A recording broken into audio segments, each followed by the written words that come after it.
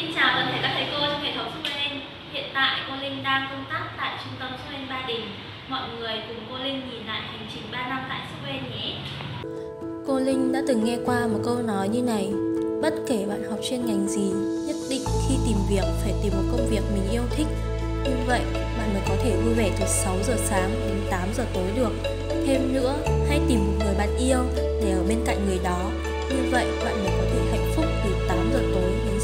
sáng hôm sau Đó chính là cuộc sống Cũng như bao cô sinh viên trẻ khác, cô Linh luôn mong muốn tìm được cho mình một công việc phù hợp một công việc phát triển bản thân, một công việc khiến bản thân có thể hạnh phúc từ 6 giờ sáng đến 8 giờ tối. Thật may mắn khi lúc đó cô Linh được gặp thầy Cường, người đã trao cơ hội nối duyên cô Linh với Super. Ba năm trôi qua nhanh như một giấc ngủ trưa.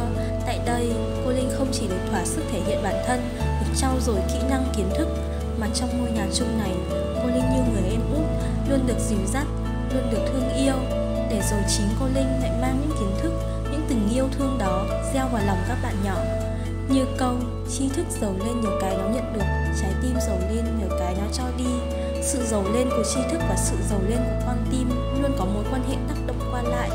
Khi có trí tuệ sáng suốt chúng ta có cơ hội và khả năng thực hiện những điều có ích cho người khác trái tim giàu lòng yêu thương và nhân ái con người sẽ biết vận dụng trí tuệ để tạo nên những điều diệu kỳ. Bây giờ cô Linh sẽ đưa máy cho người đạt huy chương vàng lớp tôi Cô sẽ cô sẽ đưa máy cho người có huy chương bạc hôm nay Bây giờ tôi sẽ đưa cho máy cho người huy chương đồng. Tôi sẽ đưa cho người có, có trên đồng giống tôi.